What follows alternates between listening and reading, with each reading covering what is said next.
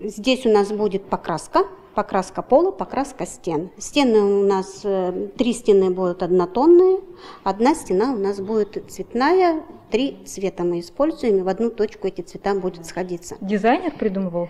Ну, мы сами. В новом учебном году две мастерские Ненецкой специальной школы-интерната приобретут современный вид и начинку, новые станки, отвертки и другие инструменты. Это стало возможным благодаря участию учебного заведения в конкурсе «Доброшкола» нацпроекта образования. В рамках этого конкурса мы должны произвести ремонт помещений, где будет не только ремонт, но еще и э, поставлено технологическое оборудование различное, дидактический материал.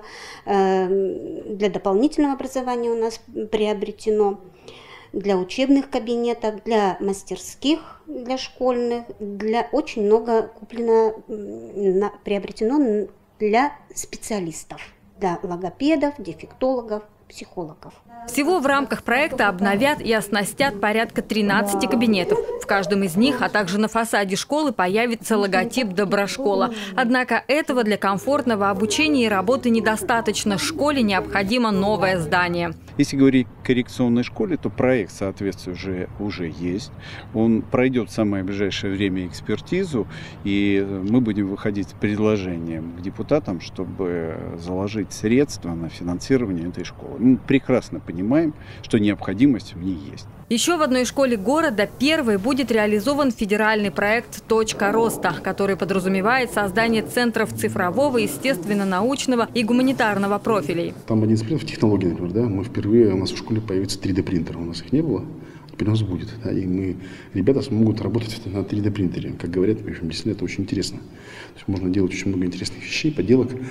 Вот. А у нас там появится современный компьютерный класс, что уже приятно, потому что технику мы не обновили достаточно давно уже, вот, а на месте ничего не стоит.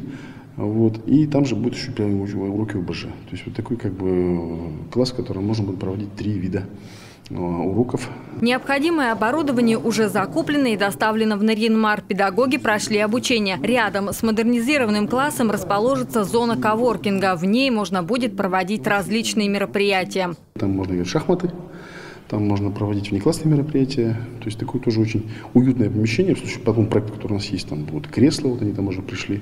И значит, шахматные столы и так далее, и так далее. Также к новому учебному году в первой городской школе будет обновлен гардероб. Естественно, лето, дети на каникулах, и это время, чтобы сделать ремонты, успеть сделать их до 1 сентября. Э, впечатление очень хорошее, Здесь, вот, допустим, в первой школе будет создана точка роста, очень интересная. Ну и самые простые ремонтные работы, гардероб, система отопления, все то, что, казалось бы, незаметно, но оно создает условия для учебы, потому что дети должны учиться в нормальных условиях. Тогда у них будут и хорошие успехи по учебе. Серьезную модернизацию ждет социально-гуманитарный колледж. Он участвует в региональном проекте «Молодые профессионалы». В рамках проекта создадут четыре мастерских. Одна из них по направлению преподавания в младших классах. В итоге здесь будут помещения, учебный класс с рабочими зонами, с компьютерами, э, с материалами, с эм, современными по э, инфраструктурному листу по компетенции преподавания начальных классов.